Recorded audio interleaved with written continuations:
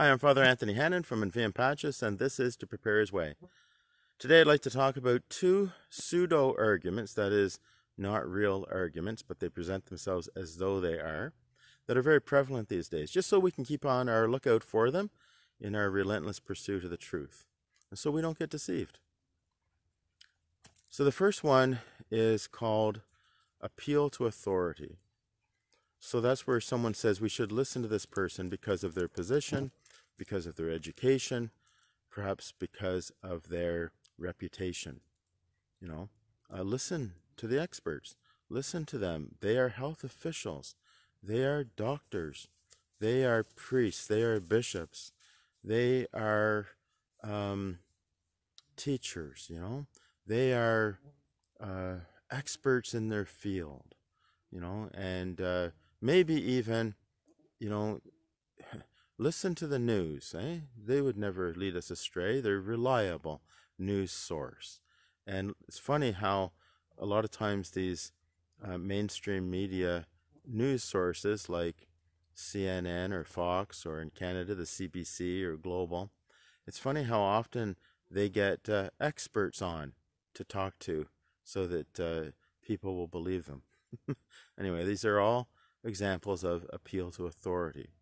Why doesn't this uh, work?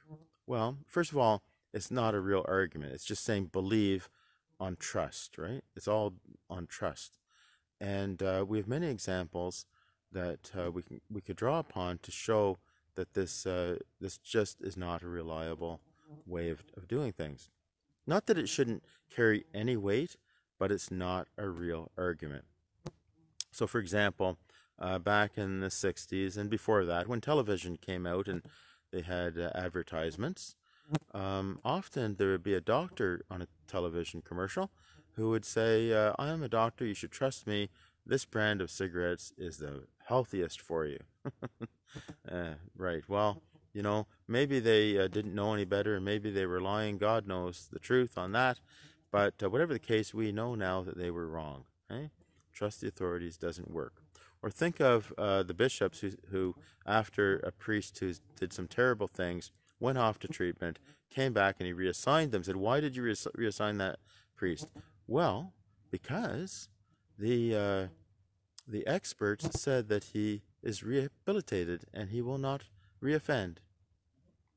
Well, that hasn't always worked out very well, has it? okay. Um, it's an appeal to credentials. The flip side of that would be to dis- dismiss someone because of lack of credentials, and uh, that would be in the category of ad hominem to the man or, or to the person. And what it means is that uh, someone is trying to refute a position by saying we shouldn't listen to that person because they're not educated or because they have some character defect or because they've lied before or something like that.